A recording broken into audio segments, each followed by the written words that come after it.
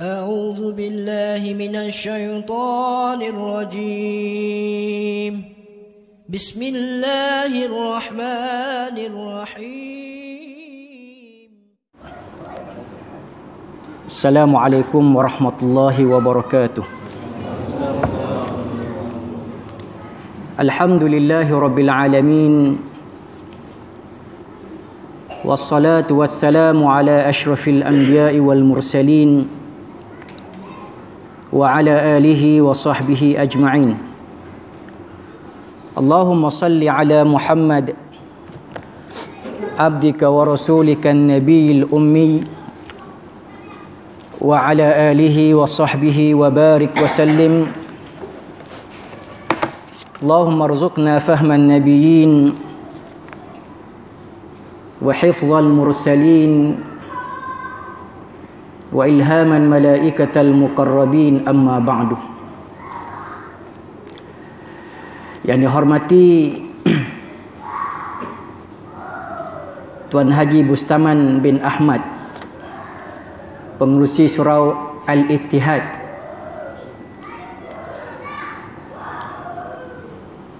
Yang berbahagia ahli kuasa Tuan Imam, Tuan Bilal, seterusnya muslimin muslimat mukminin mukminat dan pelajar-pelajar yang dirahmati dan dikasihi oleh Allah Subhanahu wa taala. Dan tidak lupa juga saya ucapkan ribuan terima kasih ha, terutamanya kepada Tuan Haji Syahrudin. Ha, kerana beliaulah yang mengatur pertemuan kita pada malam ini dan dengan keizinan Allah Subhanahu wa taala dan kekuatan yang diberikan oleh Allah Subhanahu wa taala maka malam ini merupakan sejarah saya yang pertama sampai di kampung ini. Walaupun 14 tahun dah saya tinggal di kampung Seri Aman pada malam ni baru menjejakkan kaki di kampung apa nah Seri Aman Mas pertama-tamanya marilah sama-sama kita merafakkan setinggi-tinggi kesyukuran kepada Allah Subhanahu wa taala kerana dengan anugerah kekuatan dan taufik yang diberikan kepada kita pada malam ini sama-sama kita dapat hadir di surau rumah Allah Subhanahu wa taala mendirikan solat maghrib secara berjemaah. Kemudian kita mengungkapkan selawat ke atas junjungan besar Nabi sallallahu alaihi wasallam. Dan yakinlah kita bahawasanya Nabi sallallahu alaihi wasallam bersabda barang siapa yang berselawat ke atasku satu selawat maka Allah Subhanahu wa taala akan membalas selawat tersebut sebanyak 10 kali Hadirin hadrat muslimin muslimat yang dirahmati dan dikasihi oleh Allah Subhanahu wa taala sekalian. Pada malam ini kita dihimpunkan tidak lain dan tidak bukan sebagaimana dimaklumi oleh pengerusi sebentar tadi. Pada malam ini kita hadir Kemudian kita bersabar seketika sementara untuk menunggu solat isyak dan jamuan yang telah pun disediakan. Jadi pada malam ni saya pun tak nak sembang panjang-panjang hadirin sekalian. Ha? Sekadarnya.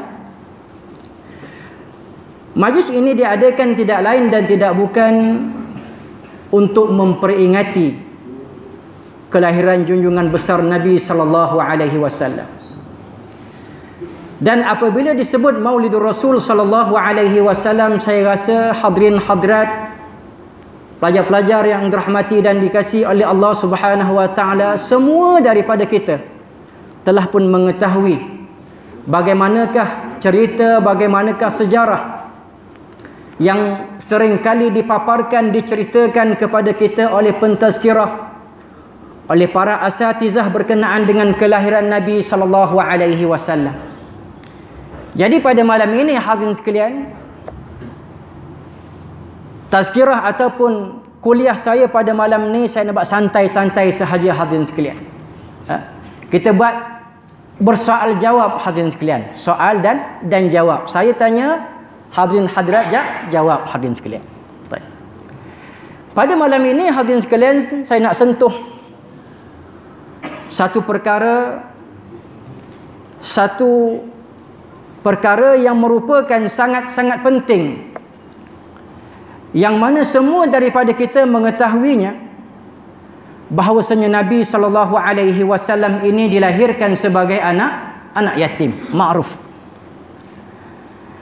Hadirin hadrat muslimin muslimat yang dirahmati dan dikasihi oleh Allah Subhanahu wa taala. Nabi ini ada berapa ribu dia ni? Ha tu soalan saya yang pertama yang pertama. Nabi sallallahu alaihi wasallam ni hadirin sekalian dia ni ada berapa orang ibu? Siapa boleh jawab? Ada berapa orang ibu Nabi sallallahu alaihi wasallam ni? Ha? Dua orang ibu. Okey. Tiga. Tiga orang ibu. Ha, Masya Allah. Nabi sallallahu alaihi wasallam hadirin sekalian dalam sejarah baginda sallallahu alaihi wasallam ini Nabi sallallahu alaihi wasallam mempunyai tiga orang ibu. Tiga orang orang ibu. Aisyah jawab dua pun betul dah. Ha? Tapi tak lengkap. Tiga. Ibu yang pertama ialah ibu yang melahirkan baginda sallallahu alaihi wasallam yang dikenali sebagai Aminah binti binti Wahab. Aminah binti Wahab merupakan ibu yang melahirkan Nabi sallallahu alaihi wasallam. Dan Nabi sallallahu alaihi wasallam hidup dengan ibunya yang mengandung beliau dan melahirkan Nabi sallallahu alaihi wasallam hidup bersama dengan ibunya tidaklah tidak tidak lama. Berapa lama hadirin sekalian? Lebih kurang dalam 6 tahun sahaja. Itu pun pada peringkat awal ketika mana Nabi wasallam dilahirkan bayi Nabi wasallam ini dihantar oleh keluarga Nabi wasallam untuk disusui oleh Halimatus Sa'diyah. Tidak eh? Nabi wasallam tinggal bersama Halimatus Sa'diyah selama hampir lima tahun. Kemudian Nabi sallallahu alaihi wasallam diserahkan kembali kepada kepada ibu kepada Aminah dan ketika mana Nabi sallallahu alaihi wasallam berumur 6 tahun maka Aminah ini meninggal dunia ketika mana pergi menziarahi perkuburan suaminya yang berada di Madinah. Kemudian Aminah ini meninggal dunia. Ini ibu yang pertama, ibu yang melahirkan Nabi sallallahu alaihi wasallam. Yang keduanya hadirin hadirat sekalian yang dikenali sebagai ibu susuan. Ha? Ibu ibu susuan. Ibu susuan Nabi sallallahu alaihi wasallam yang pertamanya ialah Suwaibah. Hamba yang dimiliki oleh Abu Lahab ketika mana diberitakan kepada Abu Lahab berkenaan dengan kelahiran Nabi sallallahu alaihi wasallam Kegembiraan Abu Lahab ini disebabkan kelahiran seorang anak saudara lelaki. Bangsa Arab ini hadirin sekalian bila mana kelahiran mereka mendapat anak lelaki satu kemuliaan dan satu kemegahan kepada mereka. Dengan kegembiraan tersebut maka Abu Lahab telah membebaskan hambanya dan hambanya inilah yang merupakan antara orang yang bertanggungjawab menyusu Nabi sallallahu alaihi wasallam. Ibu susuan Nabi sallallahu alaihi wasallam yang keduanya ialah Halimatus Sa'diyah. Ha? Ma'ruf Halimah Halimatus Sa'diyah. Dan yang ketiganya hadirin sekalian ialah ibu asuhan Nabi sallallahu alaihi wasallam. Beza beza. Ha? Ibu kandung ibu yang melahirkan Nabi sallallahu alaihi wasallam. Ibu susuan ibu yang menyusu Nabi sallallahu alaihi wasallam semenjak Nabi sallallahu alaihi wasallam masih bayi sehinggalah Nabi sallallahu alaihi wasallam berumur 2 tahun. Maka ini dinamakan ibu susuan. Bayi yang hendak disusui hendaklah apa nama? Belum masuk umurnya 2 2 tahun. Maka bayi itu ibu yang menyusui bayi tersebut dipanggil sebagai ibu susuan. Yang ketiganya hadirin sekalian, ibu yang ketiga ialah ibu asuhan Nabi sallallahu alaihi wasallam. Faham tak? Eh? Ibu ibu asuhan. Ibu asuhan Nabi sallallahu alaihi wasallam ini ialah mereka yang membesarkan Nabi sallallahu alaihi wasallam yang menjaga Nabi sallallahu alaihi wasallam yang menguruskan Nabi sallallahu alaihi wasallam selepas daripada kewafatan selepas ibu Nabi sallallahu alaihi wasallam meninggal dunia. Dan di antara ibu asuhan Nabi sallallahu alaihi wasallam ini antaranya Ummu Aiman. Kalau tuan-tuan hadirin hadirat rujuk dalam kitab-kitab sirah, maka kita akan dapati kisah bagaimana Ummu Aiman ini antara mereka yang bertanggungjawab menjaga yang menguruskan Nabi sallallahu alaihi wasallam dan ada seorang lagi yang cukup-cukup hebat yang dikenali sebagai ibu asuhan Nabi sallallahu alaihi wasallam sehingga kan Nabi sallallahu alaihi wasallam di saat kematian wanita ini. Subhanallah. Di saat kematian wanita ini ataupun ibu asuhan ini Nabi sallallahu alaihi wasallam sendiri turun di dalam kubur dan Nabi sallallahu alaihi wasallam sendiri mengkebumikan wanita ini. Siapakah wanita yang hebat ini hadirin sekalian?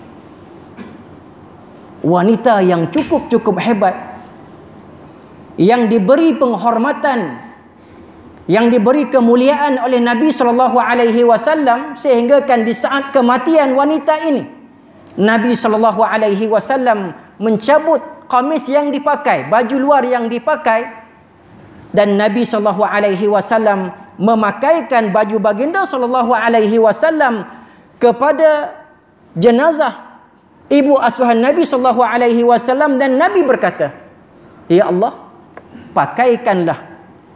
Ku pakaikan bajuku ini semoga engkau pakaikan ibuku ini pakaian daripada syurga Allah Subhanahu wa taala hadirin sekalian nah ibu asuhan Nabi sallallahu alaihi wasallam ini hadirin sekalian yang dicoret dengan tinta-tinta emas dalam kitab sirah. Ha? Tidak lain dan tidak bukan ibu asuhan Nabi sallallahu alaihi wasallam ini seorang wanita yang cukuplah dia menjadi kemuliaan wanita ini hadirin sekalian kerana ia merupakan ibu kepada kepada apa nama kepada penghulu mereka yang mati syahid. Cukuplah kemuliaan kepada wanita ini. Beliau merupakan ibu kepada seorang sahabat Nabi sallallahu alaihi wasallam yang dikenali sebagai Tayyar, yang dikenali sebagai beliau syahid dalam medan peperangan. Ha? Iaitu Ja'far bin bin Abi Talib radhiyallahu anhu. Wanita ini hadirin sekalian, ha? boleh jadi jarang kita dengar namanya dituturkan. Yang kita tahu Aminah, yang kita selalu kita dengar Khadijah radhiyallahu anha, ha? wanita ini dicoretkan dalam dengan tinta-tinta emas di atas kemuliaan wanita ini tidak lain dan tidak bukan ialah Fatimah binti Asad radhiyallahu anha. Fatimah binti Asad Fatimah binti Muhammad sallallahu alaihi wasallam ialah anak Nabi sallallahu alaihi wasallam. Adapun Fatimah binti Asad ini ialah ibu asuhan Nabi sallallahu alaihi wasallam. Ketika mana ibu Nabi sallallahu alaihi wasallam hadirin sekalian meninggal dunia. Maka penjagaan Nabi sallallahu alaihi wasallam disambung oleh datuknya yang bernama Abdul Abdul Muttalib. Ha? Abdul Muttalib. Dan ketika mana Abdul Muttalib ini di saat-saat kematiannya dia sempat berwasiat Sekiranya selepas kewafatan aku, kematian aku, aku serahkan tanggungjawab untuk menjaga Muhammad si anak yatim ini kepada anak lelakinya yang dikenali sebagai dengan nama Abu Abu Talib. Abu Talib ni hadirin sekalian, seorang bapa saudara yang mempertahankan baginda sallallahu alaihi wasallam dengan harta, mempertahankan Nabi sallallahu alaihi wasallam dengan berbagai-bagai cara semata-mata untuk mempertahankan baginda sallallahu alaihi wasallam. Namun sayangnya hadirin sekalian, Abu Talib ni ha, ketika mana dia sanggup dipulau oleh kaumnya sendiri kerana semata-mata mempertahankan Nabi sallallahu alaihi wasallam sanggup bersusah payah semata-mata untuk mempertahankan Nabi sallallahu alaihi wasallam namun di saat kematiannya Abu Talib ini mati dalam keadaan kufur kepada Allah Subhanahu wa taala. Abu Talib ini mati dalam keadaan kufur kepada Allah Subhanahu wa taala. Dan kematian Abu Talib ini menyebabkan Nabi sallallahu alaihi wasallam menangis. Menangis kesedihan ha, kerana orang yang selama ini berkorban segala-galanya tidak dapat diselamatkan oleh Nabi sallallahu alaihi wasallam daripada azab-azab neraka. Namun hadirin sekalian, isteri kepada Abu Talib iaitu Fatimah binti Asad radhiyallahu anha. Ha? Isteri kepada Abu Talib Fatimah binti Asad radhiyallahu anha dia memeluk memeluk Islam. Ha, bila mana bapa Nabi sallallahu alaihi wasallam, ibu Nabi sallallahu alaihi wasallam meninggal dunia hadirin sekalian, maka Abu Talib dan Fatimah binti Asad ini menjaga Nabi sallallahu alaihi wasallam. Dan bila mana Nabi sallallahu alaihi wasallam diambil, dijaga, diasuh oleh Abu Talib dan Fatimah binti Asad ini hadirin sekalian. Sayangnya Abu Talib kepada Nabi sallallahu alaihi wasallam ini dengan kasih sayang yang tidak yang yang sangat luar biasa. Abu Talib ni hadirin sekalian dia tak akan izinkan anak-anaknya yang lain untuk menjamah makanan melainkan makanan tersebut dimakan oleh si anak yatim ini iaitu Nabi sallallahu alaihi wasallam. Dan Fatimah bin Asad melihat bahawasanya Nabi sallallahu alaihi wasallam ini membesar di hadapan matanya. Melihat keperbadian akhlak Nabi sallallahu alaihi wasallam di waktu kecilnya sangat berbeza dengan dengan anak-anaknya yang lain. Biasanya kalau anak-anaknya yang lain bangun daripada tidurnya dalam keadaan yang yang apa nama? yang kusut masai. Tapi Nabi sallallahu alaihi wasallam ketika bangun daripada daripada tidurnya Nabi sallallahu alaihi wasallam bangun dalam keadaan yang cukup begitu kemas. Kalau sekiranya anak-anak kepada Fatimah binti Asad ini sering mengadu kelaparan, maka Nabi sallallahu alaihi wasallam ini Nabi sallallahu alaihi wasallam anak si anak yatim ini tidak pernah mengeluh dan tidak pernah mengadu ketidakcukupan makanan kepada Fatimah binti Asad radhiyallahu anha. Jadi hadirin sekalian, Nabi sallallahu alaihi wasallam bersabda, Nabi kata, Aku dan pengurus anak yatim berada di syurga seperti ini. Beliau menunjukkan jari telunjuk dan jari tengah dan merenggangkan kedua jari itu. Nabi sallallahu alaihi wasallam ketika satu ketika hadirin sekalian, Nabi tunjuk Nabi kata, "Aku dan penjaga anak yatim." Aku dan orang yang menjaga anak yatim, mereka ini akan berada bersamaku di dalam syurga seperti ini. yakni berada dalam keadaan de dekat. Lantas bagaimanakah dengan kemuliaan seorang wanita yang menjaga sebaik-baik anak yatim iaitu Nabi sallallahu alaihi wasallam. Fatimah binti Asad ini Allah Subhanahu wa taala berikan kemuliaan kepada kepada beliau. Beliaulah yang menjaga Nabi sallallahu alaihi wasallam si anak yatim. Sedangkan Nabi sallallahu alaihi wasallam menyebut barang siapa yang menjaga anak yatim, mereka ini akan berada bersamaku dalam syurga dalam keadaan begini, dalam keadaan dekat denganku. Fatimah binti Asad ini menjaga semulia-mulia anak anak yatim hadirin sekalian. Bila mana Fatimah binti Asad ini memeluk Islam hadirin sekalian. Selepas kewafatan kematian Abu Talib maka Fatimah binti Asad ini berhijrah bersama dengan Nabi sallallahu alaihi wasallam. Dia hijrah ah, bersama dengan dengan Nabi sallallahu alaihi wasallam. Dan Nabi sallallahu alaihi wasallam sangat-sangat mengambil berat terhadap ibu asuhan baginda sallallahu alaihi wasallam. Nabi sallallahu alaihi wasallam selepas dia diutuskan menjadi nabi, menjadi rasul dan selepas kematian Abu Talib, Fatimah binti Asad ini memeluk Islam dan Fatimah binti Asad ini berhijrah ke Madinah Al-Munawwarah. Nabi sallallahu alaihi wasallam hadirin sekalian. Allahu akbar. Nabi tidak sempat berbakti kepada ibunya. Betul tak? Kerana ibunya telah pun meninggal dunia.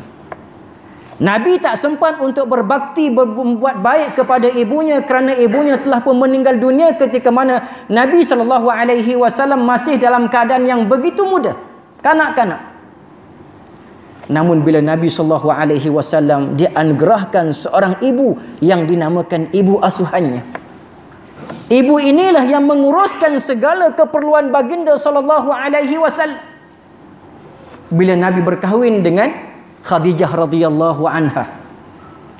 Bila Nabi sallallahu alaihi wasallam dilantik menjadi rasul dan di, di apa nama berhijrah ke Madinah Al-Munawwarah, maka Fatimah binti Asad ini juga berhijrah bersama dengan dengan Nabi sallallahu alaihi wasallam di Madinah Al-Munawwarah. Setiap hari hadirin sekalian, Allahu akbar setiap hari Nabi sallallahu alaihi wasallam akan menziarahi ibu asuhannya. Allahu akbar. Kita pada hari ini hadirin sekalian kita ada ibu. Betul tak? Semua kita ini dilahirkan daripada seorang daripada perut seorang seorang ibu. Kesan kesakitan kesengsaraan ibu kita melahirkan kita masih lagi terdapat parut di perut-perut mereka hadirin sekalian. Baik lelaki ke kita, baik wanita ke kita, kita dilahirkan oleh seorang ibu. Tetapi zaman mutaakhir ini hadirin sekalian, bila mana ibu ibu kita berada di penghujung usianya, ibu kita kita remehkan hadirin sekalian. Bila mana ibu kita yang telah pun uzur, bila mana ibu kita yang terlantar sakit hadirin sekalian. Ketika itu ibu kita kita mula mula lupakan hadirin sekalian. Ha? Nabi sallallahu alaihi wasallam ketika mana berada di Madinah hadirin sekalian. Nabi sering kali menziarahi Fatimah binti Asad radhiyallahu anha dan kecintaan Nabi sallallahu alaihi wasallam kepada ibu asuhan baginda sallallahu alaihi wasallam satu kecintaan yang sangat luar biasa. Akhirnya hadirin sekalian satu ketika sampai berita kepada Nabi sallallahu alaihi wasallam bahawasanya sebagaimana yang diriwayatkan oleh Anas bin Malik radhiyallahu anhu. Anas bin Malik ini khadam Nabi sallallahu alaihi wasallam. Ketika mana sampai perkhabaran kepada Nabi sallallahu alaihi wasallam bahawasanya ibu asuhannya telah pun meninggal dunia. Allahu akbar. Dalam keadaan Nabi sering menziarahi Fatimah binti Asad hadirin sekalian sering menziarahi berbakti kepada Fatimah binti Asad. Maka sampai satu hari satu ketika perkhabaran kepadanya bahawasanya ibu asuhannya telah pun meninggal dunia. Sebagaimana yang diriwayatkan oleh Anas bin Malik radhiyallahu anhu. Katanya ketika Fatimah binti Asad radhiyallahu anha meninggal dunia, Rasulullah sallallahu alaihi wasallam masuk ke tempat istirahatnya lalu duduk di sebelah kepalanya dan berkata Allahu akbar. Ha, ketika mana Fatimah binti Asad ni meninggal dunia hadirin sekalian. Sampai kepada pendengaran Nabi sallallahu alaihi wasallam. Nabi lantas bergegas menuju ke rumah Fatimah binti Asad. Nabi sallallahu alaihi wasallam dengan penuh kesedihan Nabi masuk ke rumah Fatimah binti Asad Dan Nabi sallallahu alaihi wasallam telah pun melihat sekujur tubuh yang telah pun diselimuti dengan dengan kain yang putih. Ketika itu hadirin sekalian, Nabi sallallahu alaihi wasallam umurnya dalam lingkungan 60 tahun hadirin sekalian. Nabi masuk Nabi duduk di kepala Fatimah binti Asad dan Nabi sallallahu alaihi wasallam singkap kain yang menutupi wajah Fatimah binti Asad. Dan Nabi berkata, "Wahai ibuku, semoga Allah merahmatimu. Wahai ibuku, ibu adalah ibu kedua untukku. Wahai ibuku, ketika mana Nabi sallallahu alaihi wasallam menatap wajah Fatimah binti Asad di saat kematiannya ketika itulah Nabi sallallahu alaihi wasallam teringat kembali ketika mana Nabi sallallahu alaihi wasallam masih kecil. Nabi terbayang ketika mana baginda sallallahu alaihi wasallam masih kecil perempuan inilah yang menyiapkan segala keperluan Nabi sallallahu alaihi wasallam. Dan Nabi kata, "Wahai ibu, ibu rela lapar demi untuk memastikan aku kenyang." Allahu akbar hadirin sekalian. Ibu-ibu yang membesarkan kita hadirin sekalian, yang dulunya kita dilahirkan tapak kaki kita hanya sebesar ini pada hari ini hadirin sekalian masya-Allah tabarakallah. Kita berjawatan. Kita ada kedudukan. Kita ada pangkat. Dan segala-galanya hadirin sekalian. Ha? pernah tak kita memikirkan bagaimanakah kesusahan ibu kita sewaktu kita kecil membesarkan kita? Nabi saw Nabi kata wahai ibu Engkaulah seorang ibu yang sanggup berlapar semata-mata memastikan aku kenyang. Cuba kita bayangkan hadirin sekalian. Dulu masa kita kecil-kecil kita ingat dah hadirin sekalian. Ha? Saya 12 orang adik-beradik. 12 orang adik, adik-beradik hadirin sekalian. Masuk felda rancangan. Ha? Dulu susah rancangan ni hadirin sekalian. Saya masih ingat ketika mana kami adik-beradik ramai-ramai mak ni lah yang akan suap makanan kepada kita hadirin sekalian. Kita tak suap. Dan ibu akan memakan makanan hadirin sekalian makanan yang berbaki daripada yang disuap kepada anak-anaknya. Berbeza dengan ayah, ayah ni lain. Ibu ni lain hadirin sekalian. Ha? Jiwa ibu ni sangat-sangatlah berlainan hadirin sekalian. Dia akan suap. Dan ibu inilah yang akan datang menyelimuti kita di waktu malam ketika mana kita tidur hadirin sekalian. Ingat tak? Dan ibu kita lah hadirin sekalian pada bulan Ramadan khususnya ketika mana sahur.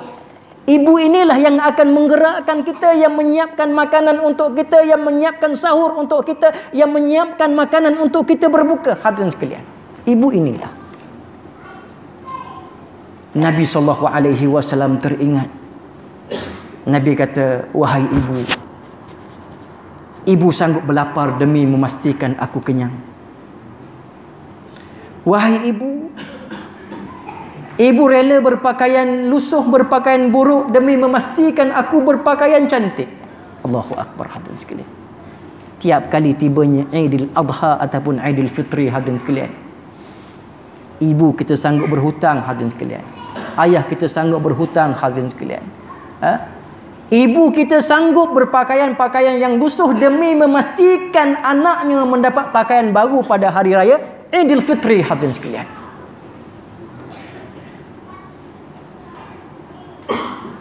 Lalu Nabi sallallahu alaihi wasallam ingat kembali dengan lelehan air mata dengan kesedihan dengan sebab di dada Nabi sallallahu alaihi wasallam Nabi teringat teringat kembali peristiwa baginda sallallahu alaihi wasallam ketika mana masih kecil diasuh oleh wanita ini. Dan Nabi berkata, sesungguhnya engkau lakukan ini semua hanya mencari redha Allah Subhanahu wa taala. Ibu yang membesarkan kita hadirin sekalian yang menyuap makanan ke mulut kita ketika mana kita kecil hadirin sekalian mereka ini tidak mengharapkan apa-apa tidak mengharapkan apa-apa daripada kita melainkan hadirin sekalian. Di saat tua mereka mengharapkan mereka tak mengharapkan harta daripada kita. Tak. mereka tak mengharapkan wang ringgit daripada kita hadirin sekalian Cuma mereka mengharapkan keprihatinan kita kepada mereka hadirin sekalian. Betul tak? Ha? Kalau tuan-tuan ada ibu, tuan-tuan tahulah hadirin sekalian. Ha? Berbahagialah mereka yang masih mempunyai ibu hadirin sekalian. Berbaktilah kepada mereka hadirin sekalian. Dengan berbakti kepada ibu, maka Allah Subhanahu wa taala akan memudahkan jalan kita menuju syurga Allah Subhanahu wa taala. Dahsyat hadirin sekalian. Saya nak ringkaskan cerita. Ha? Bila mana Nabi sallallahu alaihi wasallam menangis hadirin sekalian. Ha? Ha? Lalu baginda sallallahu alaihi wasallam menyuruh agar jasad Fatimah radhiyallahu anha ini dimandikan. Dan Nabi sallallahu alaihi wasallam sendiri menyiramkan air tersebut. Siram ibu asuhannya. Pada hari ini hadirin sekalian Allahu akbar kalau mak kita meninggal meninggal dunia ataupun ayah kita meninggal dunia hadirin sekalian adakah kita yang akan memandikan mereka? Sedangkan ketika mana kita masih kecil siapakah yang memandikan kita hadirin sekalian? Bukankah ibu kita? Yang mengendong kita yang peluk kita yang memandikan kita yang sabun kita. Tetapi di saat kematian ibu kita hadirin sekalian kita serahkan jenazah mereka ini kepada orang lain. Allahu akbar Allahu Akbar hadirin sekalian. Hadirin sekalian, kalau kita masih mempunyai ibu ataupun ayah hadirin sekalian, ketika mana saat kematian mereka, jangan kita serahkan jenazah mereka ini dimandikan oleh orang lain, melainkan dibandikan oleh kita anak-anak di hadirin sekalian. Takutlah Ustaz. Ay, banyak saya jumpa hadirin sekalian. Banyak saya jumpa Kerja Masya Allah Tabarakallah. Ha? Anak ni engineer Hebat-hebat hadirin sekalian. Tetapi saat kematian Pakai package je. Ada duit? Package permata ke apa benda ke? Anak-anak buat tak tahu je hadirin sekalian. Nabi SAW sendiri yang menjuruskan air di atas jenazah ibu asuhan baginda wasallam. Bahkan Nabi sallallahu alaihi wasallam mengafankan ibu asuhannya. Setelah itu baginda sallallahu alaihi wasallam memanggil Usamah bin Zaid, Abu Ayyub Al-Ansari, Umar Al-Khattab radhiyallahu anhu untuk menggali kuburan.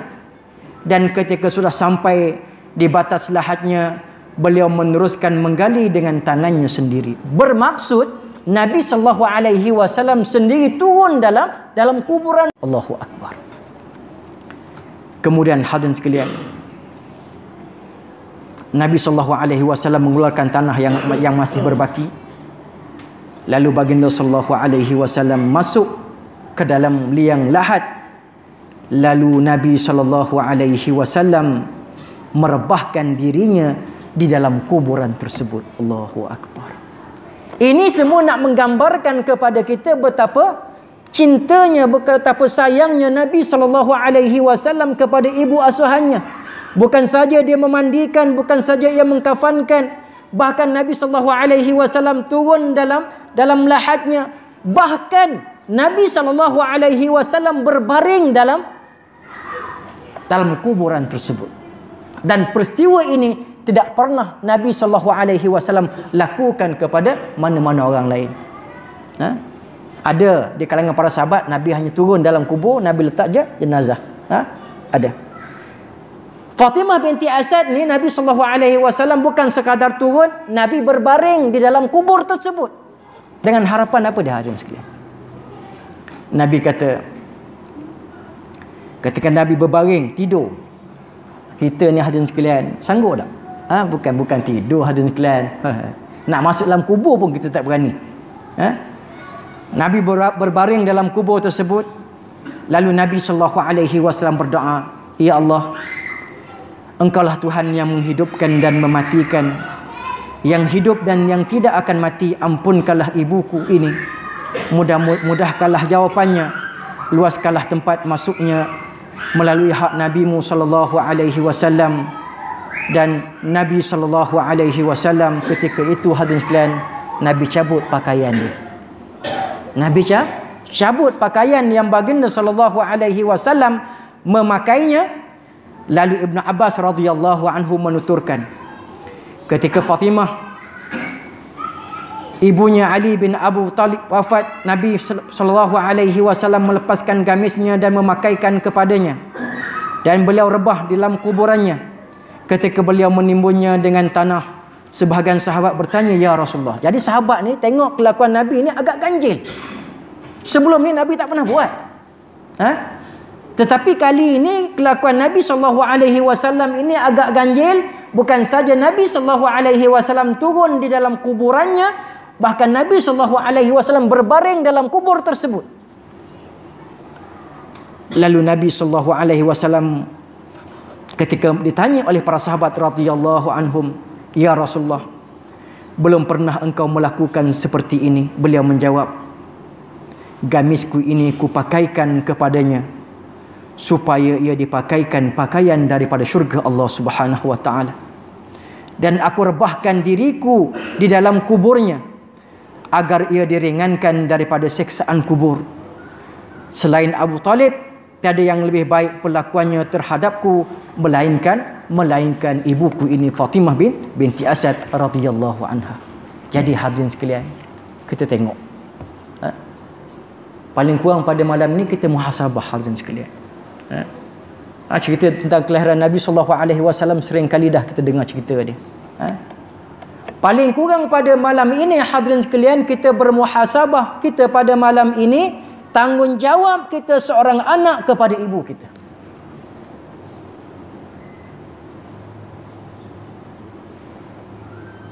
Cuba kita balik ke rumah kita nanti hadirin sekalian. Kalau kita masih mempunyai ibu hadirin sekalian, cuba renung wajah ibu kita.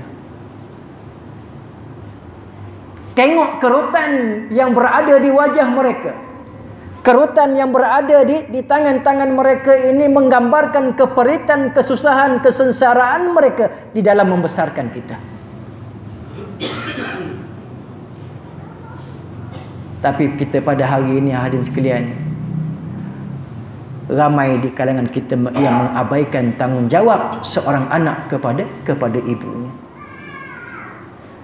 Nak keluar duit 100 hadirin sekalian, 100 sebulan nak hantar ke kampung nak bagi kepada mak walaupun ibu tidak mengharapkan yang demikian itu hadirin sekalian terlalu susah hadirin sekalian. Terlalu bakhil terlalu kedekutnya kita dengan ibu kita hadirin sekalian. Dulu ibu kita sanggup berkorban sanggup berhutang sanggup bersusah payah demi semata-mata untuk anaknya hadirin sekalian. Kita nak hulur 200 sebulan hadirin sekalian ketar tangan ni. Tak cukup bajet lah bulan ni mak. Allahu Akbar hadirin sekalian tapi handset yang dipakai silih berganti. Keluar saja apa nama jenama baru keluar saja yang tercanggih tukar. Bukan 200 hadirin sekalian 800 700 1000 lebih Rim kereta kita hadirin sekalian, kalau yang minat kereta ni, tiap-tiap bulan dia eh tiga bulan tukar. Tak best lah rim ni. Tukar rim sport beratus-ratus hadirin sekalian. Tapi nak hulurkan kepada ibu kita yang pernah bukan yang telah pun berbakti kepada kita hadirin sekalian. Nak bagi seratus pun kita rasa susah. Muhasabah hadirin sekalian. Ha? Walaupun ibu kita tak mengharapkan ini semua hadirin sekalian. Nanti bila mana kita tua kita tahulah. Ha? Seorang ibu, seorang ayah ni tak mengharapkan apa-apa kepada apa nama melainkan mereka mengharapkan keprihatinan terhadap terhadap mereka hadirin sekalian. Kita pada hari ni mak di kampung berapa kali kita jumpa mak kita? Jarang hadirin sekalian. Betul tak? Jarang sangat. Telefonnya bila orang telefon? Ah, mak dah meninggal. Allahu Akbar. Ayah dah meninggal. Dengan kawan kita hadirin sekalian, masya-Allah tabarakallah. Dengan mak di kampung, dengan ayah di kampung hadirin sekalian, sebulan sekali pun payah nak call. Betul tak? Ini muhasabah untuk diri saya hadirin sekalian. Tapi dengan kawan-kawan masya-Allah tabarakallah. Sepatutnya lah, sepatutnya hadirin sekalian, setiap hari kena, kena, kena telefon. Tanya mak kita macam mana. Ha? Saya ada satu kisah hadirin sekalian, tak sempat saya nak ceritakan kisah ni. Ha? Kisahnya, apa nama, ringkas dia seorang yang ngaji tak tinggi pun, tapi kebaktian dia kepada ibu dia, Masya Allah, tabarakallah. Orang biasa je hadirin sekalian. Matinya Allah subhanahu wa ta'ala beri kemuliaan kepadanya hadirin sekalian. Jadi hadirin hadirat muslimin muslimat, yang dirahmati dan dikasihi oleh Allah Subhanahu wa taala. Ha? Jadi pada malam ini kita sambut Maulid Rasul sallallahu alaihi wasallam. Ha? menunjukkan kecintaan kita kepada Nabi sallallahu alaihi wasallam. Dan Nabi sallallahu alaihi wasallam mengajar kita kecintaannya kepada kepada ibu asuhannya. Maka pada malam ini hadirin sekalian saya mengajak diri saya mengajak diri hadirin hadrat ha? pelajar-pelajar yang masih mempunyai ibu yang masih mempunyai ayah berbaktilah kepada mereka berbuat baiklah kepada mereka berbaktilah kepada mereka. Dan mereka yang mempunyai ibu yang masih hidup berbahagialah hadirin sekalian.